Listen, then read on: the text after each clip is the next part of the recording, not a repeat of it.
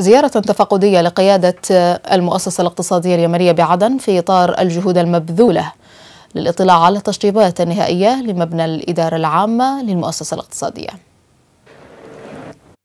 تتسارع أعمال إعادة وصيانة مبنى الإدارة العامة للمؤسسة الاقتصادية بعدن ضمن برنامج التنمية التي تشهدها قطاعات المؤسسة الاقتصادية للعام 2018 وفي هذا الصدد نفذ مدير عام المؤسسة الاقتصادية اليمنية بالعاصمة المؤقتة عدن الأستاذ سامي السعيدي. برنامج زيارة لعدد من القطاعات في المؤسسة يرافقه مدراء عموم فروع المؤسسة الاقتصادية في المحافظات المحررة. للإطلاع على ما تم إنجازه من تجهيزات مبنى الإدارة العامة للمؤسسة الاقتصادية بعدن زيارة فقدية للتشطيبات في الإدارة العامة المؤسسة الاقتصادية.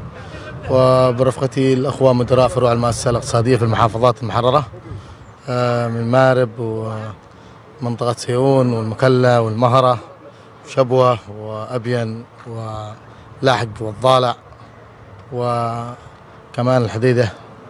وإن شاء الله سوف آه، يتم افتتاح الإدارة العامة وتمارس آه، مهام الإدارة العامة في العاصمة عدن وسوف يتم إعادة نشاط المؤسسة الاقتصادية في كل المحافظات.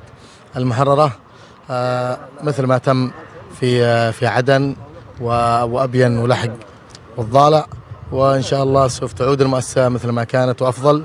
والمؤسسة الاقتصادية هي آه، العمود عمود التوازن الاقتصادي للقطاع ما بين القطاع العام والقطاع الخاص. فهي التي تمثل الرافد الاقتصادي للدولة. وهي حق عام ملك الشعب ملك للدولة وليس ملك لشخص.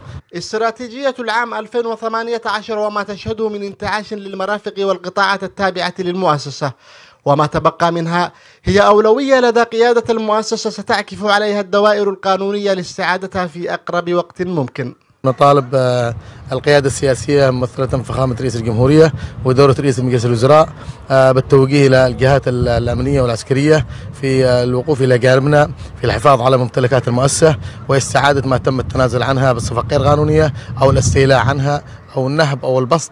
وكما تم أمس وقفة احتجاجية على النهب والبسط في في أراضي المملاح. وكذلك عقارات المؤسسة الاقتصادية في عدن. استعدنا الكثير منها وما تبقى إلا القليل خلال الزيارة طاف المدير العام ومعه مدراء الفروع عدد من الأقسام التي شارف الانتهاء من العمل فيها. مشددا على أهمية مضاعفة الجهود لاستكمال ما تبقى من ترميم هذا المبنى. رافقه في النزول مدراء فروع محافظة حضرموت والمهرة وأبين والضالع والحديدة ومأرب ومحافظة لحج. لقناة عدن الفضائية وضاح شليلي عدن.